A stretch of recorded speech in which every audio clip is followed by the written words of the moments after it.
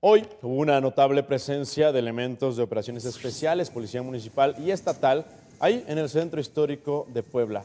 Estos equipos de seguridad se han concentrado principalmente sobre la avenida 5 de Mayo y las calles aledañas, la 4, la 6, la 10, la 8, la 12.